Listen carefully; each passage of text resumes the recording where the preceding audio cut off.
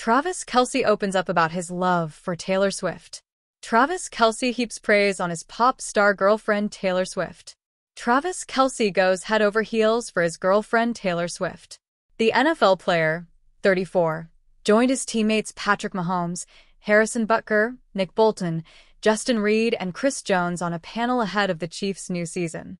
During the panel discussing, Travis told the host, Mitch Holthustle, We love you, on behalf of his teammates. To which Mitch teased him and asked if he loves him more than Taylor, as seen in the viral video circulating on X, formerly known as Twitter.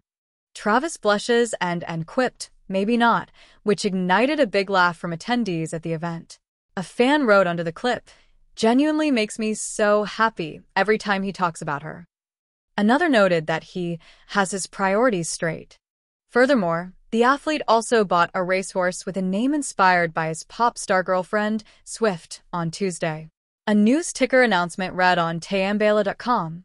Travis Kelce joins Team Valor International and Gary Barber in ownership of three-year-old Swift delivery.